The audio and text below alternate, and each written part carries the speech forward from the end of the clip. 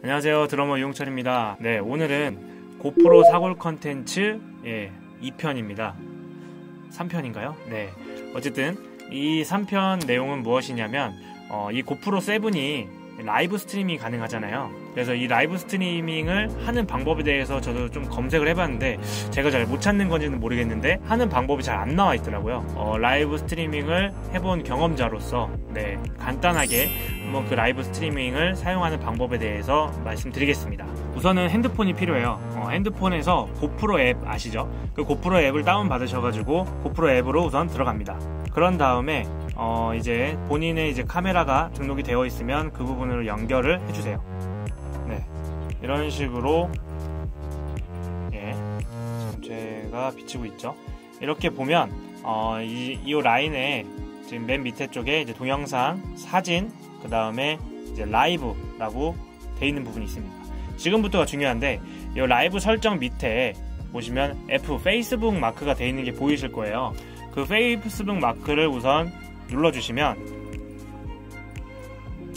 네, RTMP라고 밑에 떠 있는 부분이 있습니다. 이걸 클릭해 주세요. 그런 다음에 이제 라이브 설정에 들어가서 우선은 맨 위에 저 같은 경우는 지금 네트워크 연결 설정이 돼 있어서 여기서 사용하는 지금 와이파이가 잡혀 있는데 저 처음에 이제 하실 때는 예, 직접 사용하실 와이파이를 먼저 잡아 주셔야 돼요.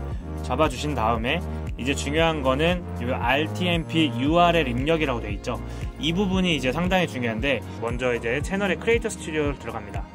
그 뒤에 실시간 스트리밍으로 들어가서 어 이제 개인 그 정보가 있어요. 이쪽 인코더 설정에 보시면 여기 서버 URL과 stream 이름 및 키 이렇게 되어 있죠. 우선은 이 서버 URL을 복사하고 그 다음에 이 표시를 누른 다음에 이 stream 이름 및 키를 이 주소 옆에다가 붙여주시면 됩니다. 근데 여기서 가장 중요한 거 저도 이렇게 해가지고 처음에 라이브가 안 됐거든요. 이 라이브 옆에 옆에다가 복사하고 나서 이 stream 키를 입력할 때 slash slash를 꼭 치고 그 옆에 stream 이름 및 키를 붙여주신 상태에서 주소를 복사해 주셔야 돼요. 하나 팁을 드리자면 카카오톡 PC 버전 있죠. 카카오톡 PC 버전에서 어, 나한테 메시지 보내기 그런 게 있어요. 그래서 그 주소를 드래그 해가지고 이제 그쪽 나한테 채팅 보내기를 한 다음에 핸드폰에서 그 부분을 복사해서 여기 RTMP URL에다가 입력을 해주시면 되겠습니다. 그렇게 한 후에 라이브 스트리밍 설정을 누르시게 되면 이제 네, 라이브 실행이라는 부분이 뜨게 됩니다. 네. 그리고 나서 이제 라이브 실행을 누르면 이제 라이브가 되는 거죠. 사실 이걸 좀 진행해 보면서 느낀 게 어, 라이브가 되는 게 조금 신기하고 또 이제 좋은 점은 어, 아무래도 광각으로 잡히다 보니까 조금 넓게 저 같은 경우 이제 드럼으로 이제 같이 또 방송을 하게 된다면 드럼이 또 잘 잡히기 때문에 그런 부분에서 참 좋은 것 같아요. 근데 이제 사실 복잡하죠 생각보다. 그래서 사실 그리고 채팅창을 이제 같이 좀 읽어보려고 하면 컴퓨터가 없으면 좀 어렵더라고요. 핸드폰으로 이제 연동을 해서 진행을 하다 보니까 핸드폰으로 이제 방송을 보면서 할 수가 없어서 어쩔 수 없이 노트북이나 컴퓨터가 좀 필요한 그런 부분이 있습니다.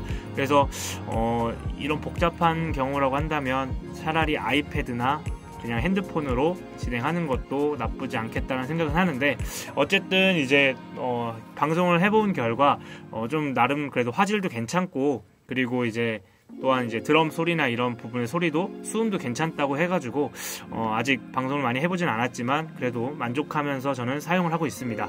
아까도 말씀드렸지만 그 잘 안 된다고 하시는 분들은 그 라이브 2 옆에 개인 그 스트리밍 주소를 쓸 때 slash를 해놓고 쓰지 않으면 절대 실행이 안 됩니다. 그거를 꼭 slash를 친 상태에서 그 주소를 붙여 주셔야 그게 라이브가 온전히 잘 실행이 됩니다. 고프로 7을 갖고 계시고 라이브 스트리밍을 한번 해보시려는 분들에게 어, 좋은 그런 길잡이가 됐으면 좋겠습니다. 네, 조금 허접하게 말씀드리긴 했지만, 네, 어쨌든 이렇게 하는 방법인 걸 아시면 될 것 같습니다.